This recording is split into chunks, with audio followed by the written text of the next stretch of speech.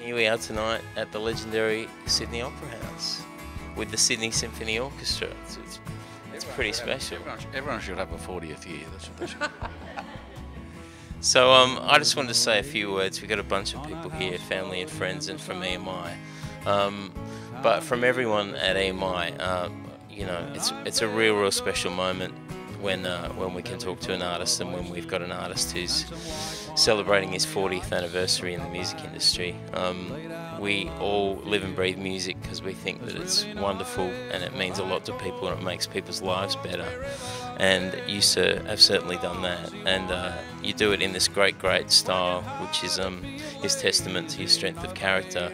But um, but 40 years in this industry, maybe more than others, is um, is quite an achievement. So um, I'm really, really proud of everyone, and on behalf of everyone, past and present, on behalf of everyone at EMI, and on behalf of, of everyone in the music industry, if I may, I want to present you with a, a little something to um, celebrate 40 years uh, and 40th anniversary to True Blue, Mr. John Williamson. We give him a round of applause.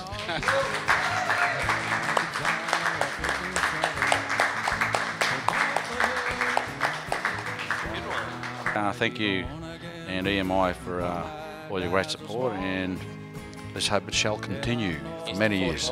40 more, again.